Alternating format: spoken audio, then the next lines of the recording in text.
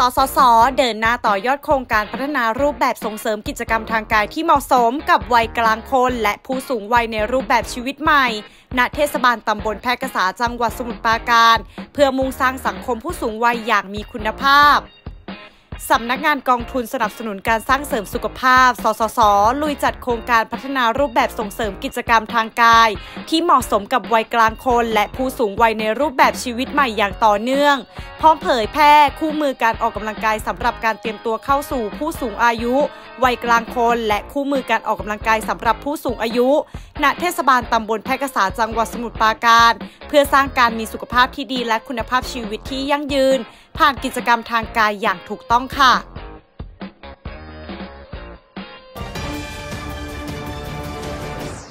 คราวที่แล้วหลังจากที่เราได้เปิดตัวโครงการไปได้รับความสนใจแล้วตัวผมเองได้รับการติดต่อจากหน่วยงานหลายหลายหน่วยงานองค์กรที่เกี่ยวข้องกับเรื่องสุขภาพนะครับจนไปจนทั้งถึงการออกกำลังกายในพวกเด็กนะฮะที่จะเข้ามาเกี่ยวข้องกับการพัฒนาสุขภาพตั้งแต่วัยเล็กนะครับ จนถึงวัยผู้สูงอายุนะครับได้รับการติดต่อเข้ามา หลายหน่วยงานหลายองค์กรด้วยกันนะครับ เพราะฉะนั้นนั่นหมายความว่า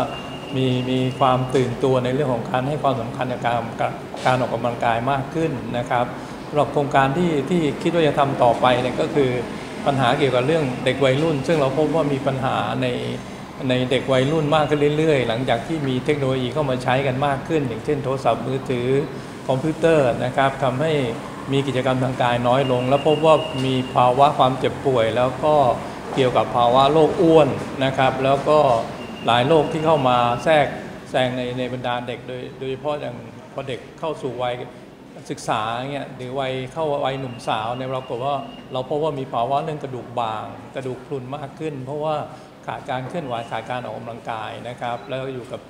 กับภาวะเนยนิ่งแล้วมีการเคลื่อนไหวน้อยลงทำให้เกิด ปัญหาเรื่องสุขภาพตามมาในในอนาคตอีกเยอะเลยนะครับสำหรับเด็กในในช่วงวัยเด็กและวัยรุ่น ซึ่งเป็นโครงการที่เราคิดว่าเราจะทำต่อไปใน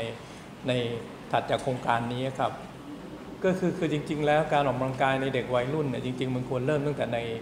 ตั้งแต่เด็กปฐมวัยนะครับ ซึ่งมันจะช่วยในเรื่องของการขยายเครือข่ายและการพัฒนาสมอง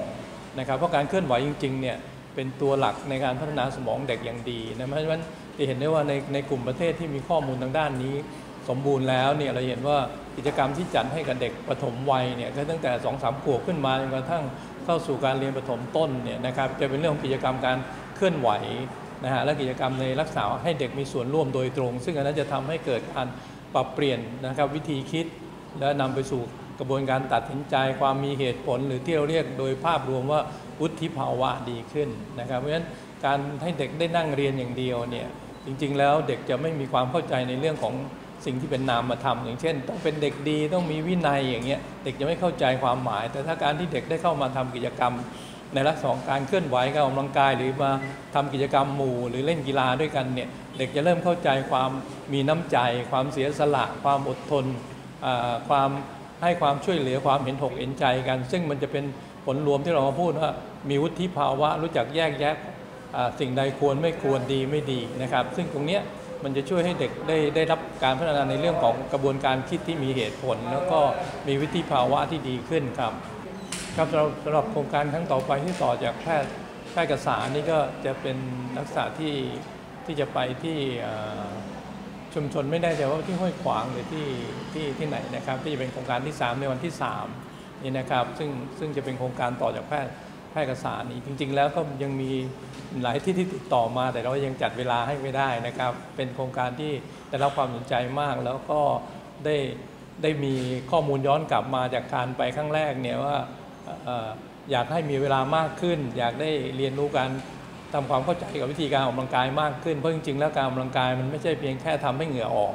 นะครับ หรือยังมีหลายท่านที่เข้าใจผิดว่าการทำงานบ้านหรือการทำงานในอาชีพ ในชีวิตประจำวันนั้นคือการออกกำลังกาย ซึ่งจริงๆมันไม่ใช่นะครับนั่นเป็นการใช้ร่างกาย การที่เราออกกำลังกายคือเราเตรียมร่างกายเราเพื่อจะได้ดำรงชีวิตอย่างมีคุณภาพ และสามารถเคลื่อนไหวได้อย่างมีประสิทธิภาพครับ